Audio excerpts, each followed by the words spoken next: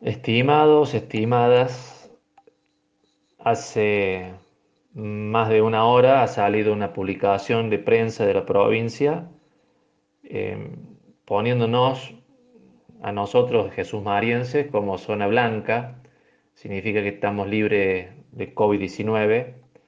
y que podríamos empezar a habilitar tres actividades, eh, comercial, obra privada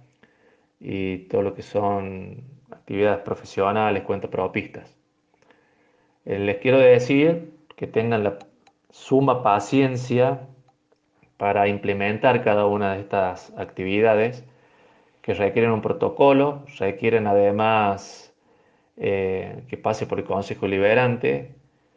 eh, requieren mucha responsabilidad de, de ambas partes, de la municipalidad y de los privados. Tenemos que tener un contrato social para mantener todos los protocolos, para mantener la ciudad como zona blanca.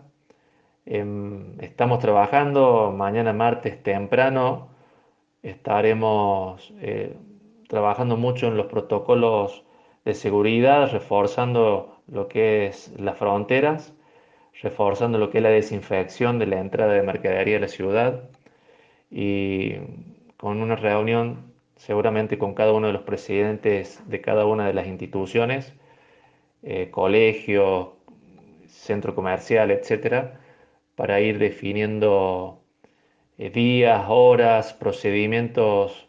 de ir habilitando cada una de las actividades. Vuelvo a pedir prudencia y paciencia para mm, que si demoramos uno, dos o tres días, es preferible hacer esa demora y estar conscientes de todas las implementaciones de bioseguridad que tenemos que hacer,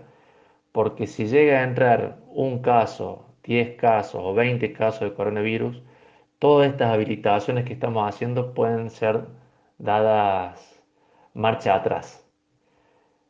Bueno, eh, mañana comenzaremos el gran trabajo de implementar estas tareas, así que les doy las buenas noches.